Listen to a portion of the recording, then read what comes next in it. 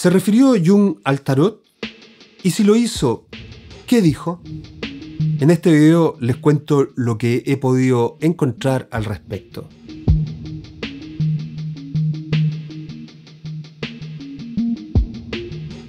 Me parece que es común que los tarotistas incluyan una mirada junguiana en su trabajo.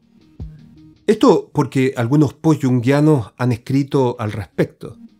Ahora, de Jung solo hay registro de algunos breves pero significativos comentarios.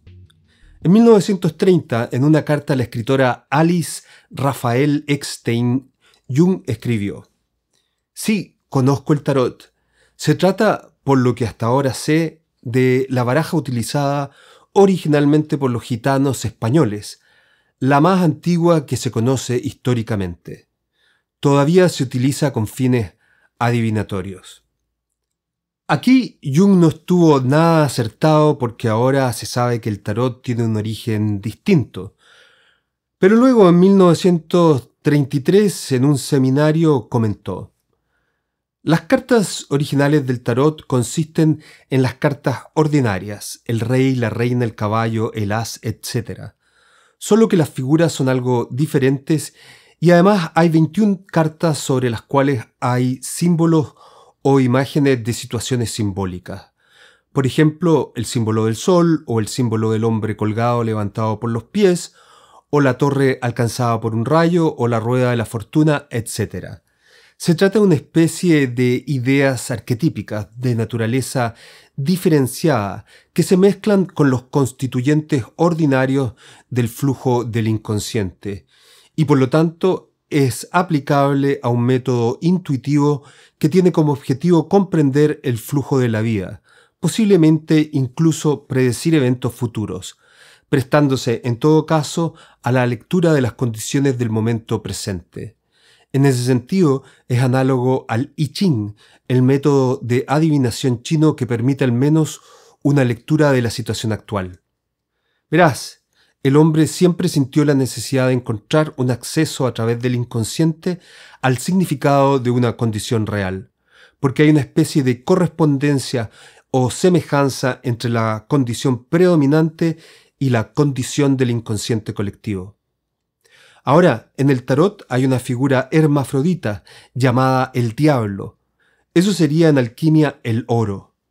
En otras palabras, un intento como el de la unión de los opuestos parece diabólico a la mentalidad cristiana, algo malo que no es permitido, algo perteneciente a la magia negra.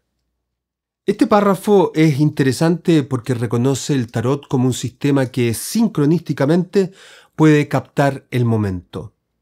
Además, aunque como vimos Jung no estaba al tanto de la historia del tarot, intuitivamente establece relaciones con la alquimia, algo que también ha sido planteado por estudiosos del tema.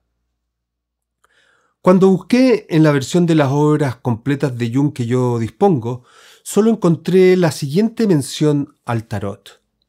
Si uno quiere formarse una imagen del proceso simbólico, la serie de imágenes que se encuentran en la alquimia son buenos ejemplos. También parece como si el conjunto de imágenes en las cartas del tarot descendiera distantemente de los arquetipos de transformación, una visión que me ha sido confirmada en una conferencia muy esclarecedora del profesor Bernoli. Rudolf Bernoli fue un historiador del arte que en el encuentro de Eranos de 1934 presentó una conferencia que es a la que probablemente se refiere Jung. Hay reportes también por parte de una de sus biógrafas, de Marie-Louise von Franz, y del propio Jung, de un experimento en 1950 en el que junto a algunos de sus estudiantes pretendieron usar distintos métodos sincronísticos, incluido el tarot, para correlacionarlos con una situación particular. Finalmente, ese estudio no prosperó. En aquel estudio, una de sus alumnas habría registrado algunas breves notas descriptivas de las cartas del tarot que ella atribuyó a Jung, pero que no se apartan mucho de las descripciones que se pueden encontrar en el libro del siglo XIX, El tarot de los bohemios, de Papus. Y esto sería todo de lo que al parecer se tiene registro de Jung sobre el tarot.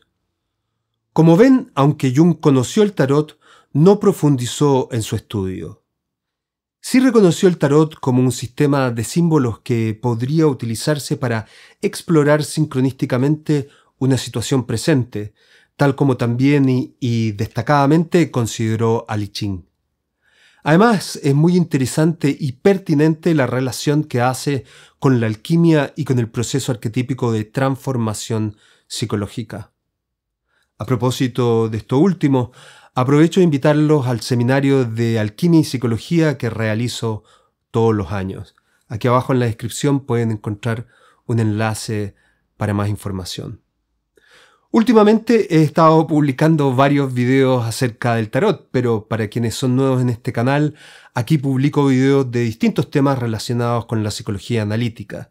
Así es que si les interesan estos temas, les invito a que se suscriban. Muchas gracias por acompañarme hasta aquí y nos vemos pronto.